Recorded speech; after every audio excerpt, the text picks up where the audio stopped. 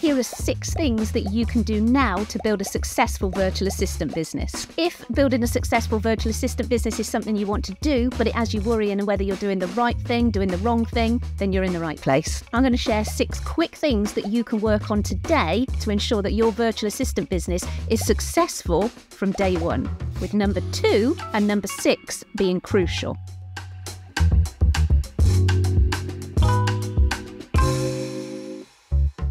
I'm Catherine Gladwyn, and I've been a virtual assistant since late 2015. And since 2018, I've been helping women just like you start, build, and grow their own successful virtual assistant business. We all deserve a happier, healthier, wealthier working life. Now, this is why you're in the right place with this video to build a successful virtual assistant business. Numbers two and six on my list, I'm just going to read through the list in a minute are crucial and they're things that most new and aspiring virtual assistants don't do. And it's only because they're not told. So you are going to be in a great position from day one.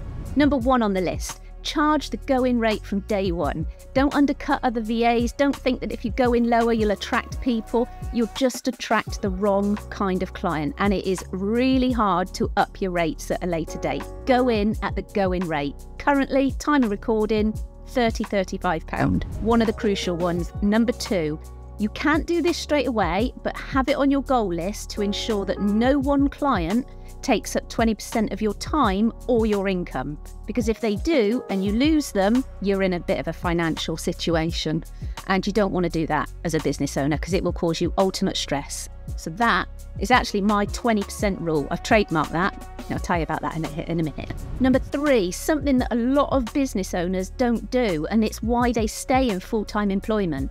They don't work out exactly what they want to earn from their business first. They just kind of go at it, get a few clients, and not really think about it. So have a look at your outgoings, see if there's anything you can change, and then work out exactly what you need to bring into your business to make it work, to enable you to leave your full time job. I've got a free on online calculator. You go to catherinegladwyn.co.uk slash calculator and it'll work it all out for you, including tax and national insurance. So have a look at that. It's free. Number four, choose a maximum of six services to offer to your clients. I know, and it, it sounds like it's really savvy that if you offer more services, then you'll have a more chance of attracting more people but it works in the opposite way. It makes you look a jack of all trades, it makes you look an expert of nothing. And it's really, really hard to market yourself if you've got too many services. So, maximum of six. And if you've not yet worked out your services, go to catherinegladwyn.co.uk slash VA services. Again, free download. I just keep giving all the time. Number five, and you're going to know this one, but you've got to market yourself consistently at least for 90 days heavily to start getting noticed. You never stop marketing, but in order to start getting noticed, it's going to have to be 90 days of heavy marketing, okay? Not just once or just get a website and think that people are going to come to you. They're not. So you're going to have to get over sort of fears and stuff. Number six, the other crucial one. Only take advice from people that you know for sure have built a successful VA business themselves. Not that they're just saying about it on Instagram. Do your due diligence, check for their website from when they were a VA, check for testimonials from people that they have actually mentored or coached, and make sure you can find those people in real life as well.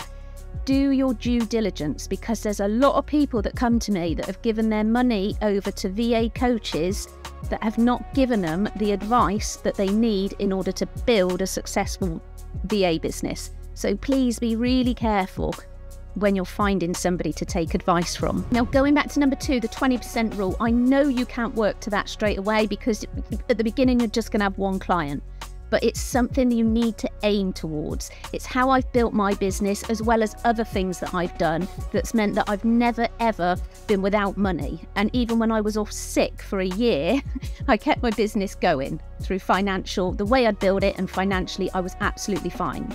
Now, my second bestseller Oh, hold on, I'll get a copy. The 20% rule has got everything in it that you need to ensure that your business works at maximum profit and that you can have days off and that you're you're never worrying about money coming in.